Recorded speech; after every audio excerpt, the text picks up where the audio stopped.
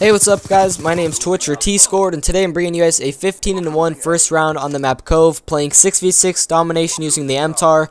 And you guys are probably wondering why I'm uploading just a 15 and 1 gameplay, and that's because I got 3 VSATs in this one first round, playing in 6v6, and I still thought it was pretty nice. I had like 5 or 6 flag captures, and then I got, you know, 15 kills, obviously, and I think I was on a 14 gun streak.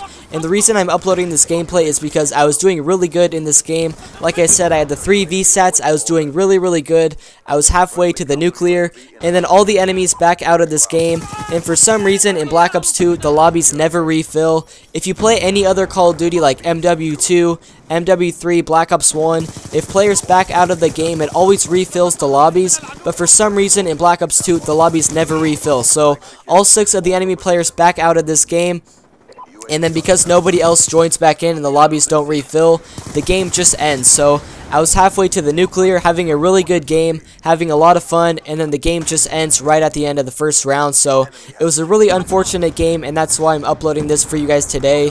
And that's why I pretty much just wanted to talk about how much I hate rage quitters and how much I hate how the lobbies don't refill in Black Ops 2. I don't understand if it's the matchmaking or what, but for some reason in Black Ops 2, the lobbies just never refill. Every single time I'm on a good nuclear streak or every single time I get a swarm, all the enemy players back out and usually there's like one or two enemies in the game and then for some reason the lobbies just don't refill. And so for the whole rest of the game, I'm playing against like one guy and it's really boring and it's a waste of time and then I end up not getting a gameplay. And that really sucks because I play Call of Duty to get gameplays I play to have fun and then also mainly to get gameplays. And if the enemy players always back out and the lobbies never refill I can't get gameplays. And that's the problem with Black Ops 2 all these people I see on YouTube who get like 200 pluses and double nuclears and stuff I don't know how they find enemies that don't back out of the game. Every single time I call in a VSAT, the enemy players always back out. So I don't know if it's just my, you know, unluckiness or what, but I can never seem to find lobbies where the enemy players don't back out. I just get really unlucky that way, I think, and I don't understand why. So I'm just really mad, guys, and this is basically just a rant video because I just really don't understand, you know, why people rage quit all the time. If I see an enemy player gets a VSAT, I don't quit out of the game. I still play. The only time I back out is if I'm on like a 25 gun streak and I make a dumb mistake and die off the nuclear or the Moab, and then I quit because I personally did bad.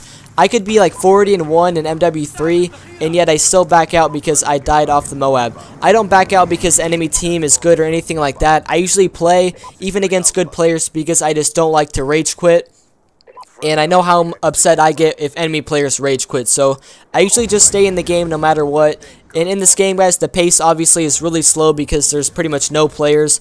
I think right now I call in my VSAT and there's like one guy left on the map, and then in just a little bit, this guy quits because it's basically 1 versus 6 right now. He quits out of the game, and then it's just, you know, 6 versus 0. And because there's no enemy players after like 20 seconds, I think, it just forces the enemy team to forfeit. So this basically just ruined this gameplay. It could have probably been an MTAR nuclear. As you guys can see right now, it says enemies forfeiting in 20 seconds. And I was just really upset with this gameplay because it obviously could have been a cool gameplay. And then all the guys just back out. So I hope you guys enjoy this video and understand my points. And I thought you guys, you know, would still enjoy this triple VSAT round. So I'll see you guys next time. Peace out.